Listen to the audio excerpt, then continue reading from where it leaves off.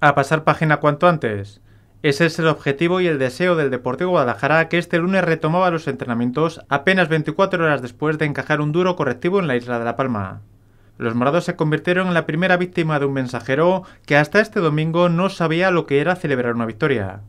Sin embargo, con motivo de la visita morada, los isleños no solo ganaron, sino que golearon 4 a 1.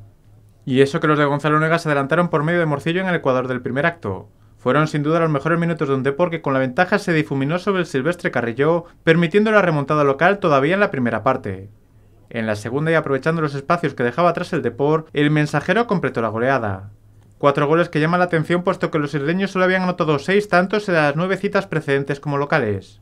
Además, con esos cuatro goles en contra, el Depor se convierte en el equipo más goleado dentro del grupo 5 de la segunda federación. Un grupo en el que ahora el Depor aparece en decimosegunda posición, dos puntos por encima de la promoción por la permanencia y cuatro por encima de los puestos de descenso. La quinta plaza, la última que da acceso a los playoffs por el ascenso, está ahora a cinco puntos.